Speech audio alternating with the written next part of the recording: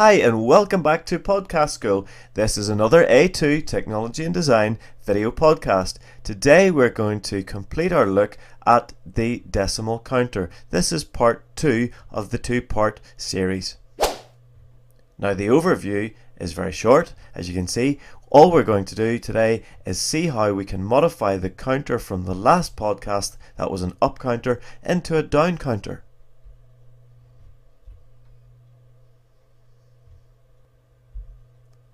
Now I've just said here that it's easy to modify the standard ripple counter we created earlier.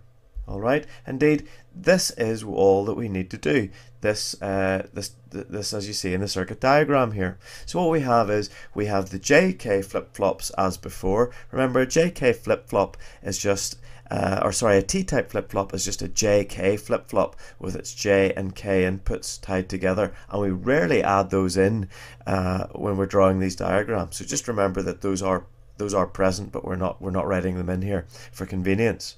So what we have is we have our T-type flip-flops cascaded as before, but the difference is we're actually clocking the next T-type flip-flop from Q bar and not from Q. Again, the third one is clocked from the second uh, T-type flip-flop Q bar and not from Q. Okay. Now, let me just put down some text.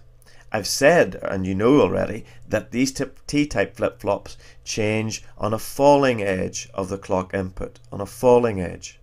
So therefore, it's easy to figure out that if they're going to change on a falling edge, in fact, the uh, Q will be a rising edge when the next T-type uh, changes because of the Q bar being a complement.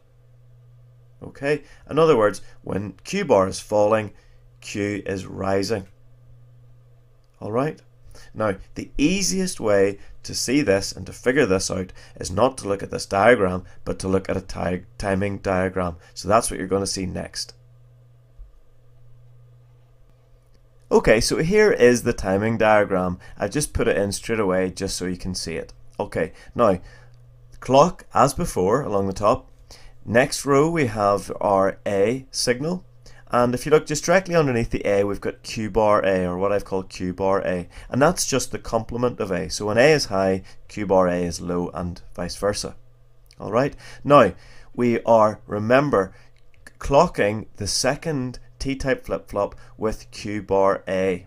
So we're expecting to see a change in B when there is a falling edge in Q bar A. And indeed that is true because you can see that there's a falling or a changing in B and its complement as Q bar A falls. Again, we can see that here and here. And indeed, if you carry that theory through, then you should see a fall or changing in C and Q bar C when Q bar B is falling and indeed you can see that here. So in other words, we have a changing state whenever the complement uh, the complement signal falls or there's a, a, falling edge. Okay, so we're still taking our uh, values from the A, B, C and D columns, but we're clocking from Q bar A, Q bar C, sorry, Q bar B and Q bar C, and we're not needing to to clock anything from Q bar uh, D because this is only a 4-bit counter and we already have our three uh, carryovers or our signals if you like that we need to do that. Okay, so let's run this yellow bar through. At the moment you can see A, B, C and D are all high so that gives us 15. Remember A is our least significant bit and D is our most significant bit. So D has a value of 8, C has a value of 4, b has a value of 2 and a has a value of 1, summing to 15. Okay, so when we uh, scrub this forward to our next value, we can see that a has gone low, so we're losing 1 from our 15 value, so we left with 14.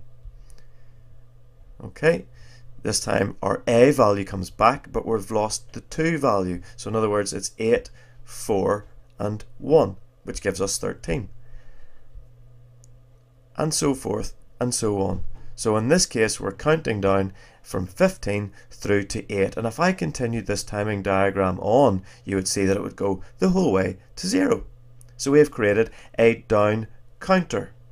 Okay, very easy. Now, as always, if you want to review this podcast, just rewind. There's no need for me to, to repeat anything here. Okay, then, until next time, bye bye.